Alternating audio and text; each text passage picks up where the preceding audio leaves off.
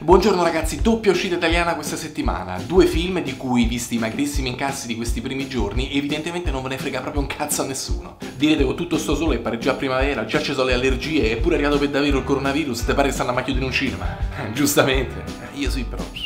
Vabbè, fatto sta che è uscito La mia banda suona il pop, la nuova commedia di Fausto Brizzi con, tra gli altri, Christian De Sica e Diego Batantuono. Fausto Brizzi, con la solita lungimiranza di una buona fetta della critica italiana, fu accolto come una boccata d'ossigeno nel mondo della commedia nostrana quando nel 2006 sfondò al botteghino col suo esordio Notte prima degli esami. Penso di essere tra i cinque in Italia non aver mai visto quel film anzi con mia madre sei. Il primo e unico film di Fausto Brizzi che mi è capitato di vedere al cinema è Ex, la sua terza fatica. Intanto gran parte della lungimirante critica italiana nei confronti di Brizzi aveva già fatto in versione U e io quel film lo trovai abbastanza irritante. Molto poco divertente e con una fastidiosissima patina da pellicola pseudo internazionale. Aspetto questo che in generale sta anche peggiorando, nell'illusione forse che così si possono raggiungere i mercati esteri, quando poi mi sembra che l'effetto invece è proprio l'opposto, eh? in my humble opinion of course.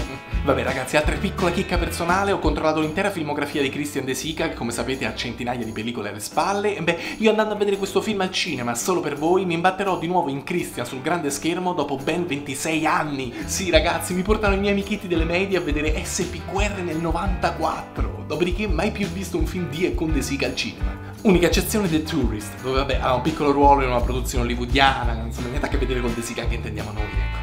Dal trailer pare che a sto giro Brizzi abbia spinto parecchio sul versante triviale, con parolacce, peti e rutti. E come potete facilmente immaginare, questa cosa un po' mi turba.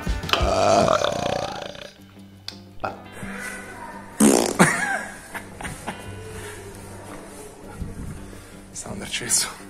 Anche per quanto riguarda la seconda uscita italiana della settimana, siamo di fronte ad una commedia, ma probabilmente di tutt'altro stile. Parliamo di Lontano Lontano di Gianni Di Gregorio. Dopo anni da sceneggiatore, Di Gregorio esordì già sessantenne come regista e attore con la pellicola Pranzo di Ferragosto, che ottenne un discreto successo, uscì anche in Francia, io lo vidi a Parigi infatti.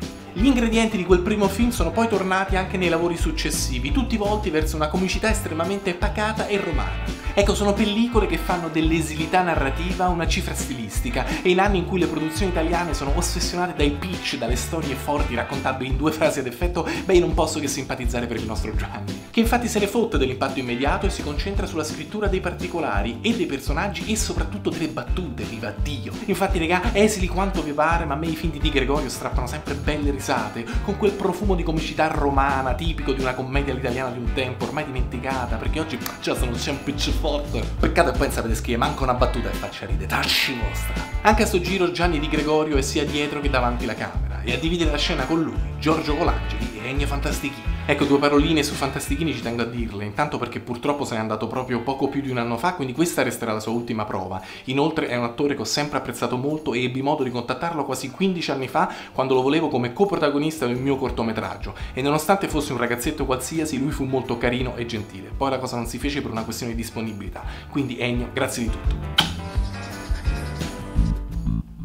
Giorgetto e il professore, due pensionati nella calda Roma estiva, campano alla giornata maturando il sogno di espatriare. Coinvolgeranno nel loro bislacco progetto anche Attilio e tutti e tre si daranno da fare per trovare la meta del loro viaggio e i soldi indispensabili. Commedia della terza età con tre anzianotti romani, buffi e confusi che Di Gregorio racconta lungo una settimana scandita giorno dopo giorno. Lo stile dell'autore si conferma sempre lo stesso e il piacere del racconto è tutto in piccoli momenti del quotidiano, definiti anche con poche battute ben calibrate senza alcuna frenesia. Che bello poter respirare al cinema, gustarsi le prove attoriali, i particolari anche solo di uno sguardo, di un silenzio, di una smorfia e soprattutto di scene scritte privilegiando il tratteggio dei personaggi e dell'ambientazione, con un divertimento che non scende a compromessi col ritmo e l'immediatezza. Guardate, due gocce di sangue gliele do ma solo perché, come sempre, Di Gregorio sceglie di non spingere sulla cattiveria e il cinismo, volendo fin troppo bene ai suoi personaggi e di conseguenza mitigando un po' la portata assoluta del film. Ma sti cazzi, ragazzi, questo per me, al di là di quanto sia riuscito o meno, è cinema, e non perché l'ho visto sul grande schermo, ma perché chi lo fa sa cosa raccontare e come raccontarlo. Alle nuove generazioni di sceneggiatori e registi italiani un consiglio, andatelo a vedere, poi tornate a studiare, eh? I quattro ex componenti della band musicale dei Popcorn, meteora degli anni 80 con almeno due hit di successo, oggi sono alla frutta. C'è chi canta ai matrimoni, chi suona per strada, chi ha seri problemi con l'alcol e chi viene mollato dalla moglie che lo mantiene. L'occasione di una reunion verrà data da un fan miliardario russo che grazie al denaro saprà far mettere da parte gli attriti mai assopiti tra i quattro disgraziati. Ma la trasferta musicale in Russia nasconde più di un colpo di scena. Ho capito però, manco iniziato a parlare, eh. Scusate, io sono una cosa voglio dire, ma Brizzi, gli altri tre che l'hanno sceneggiato con lui, i produttori, tutto il cast. Ma se non vi andavate a farlo sto film, ma perché avete fatto? Ma che vanno obbligato? Cioè, una cosa proprio da far cascare braccia, una sciatteria, manco va faccia la recensione, non va meritate. Ecco. E mezza goccia va regalo giusto per le canzoni. Eh. Vabbè ragazzi, la settimana prossima piccola pausa, ma torno presto, eh? sempre col solito grande entusiasmo.